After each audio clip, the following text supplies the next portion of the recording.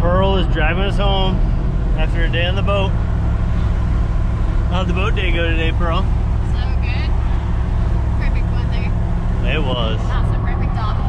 That's all right. We got, we ended up getting a little rope wrapped around the propeller. No big deal. Nothing a knife can't take care of.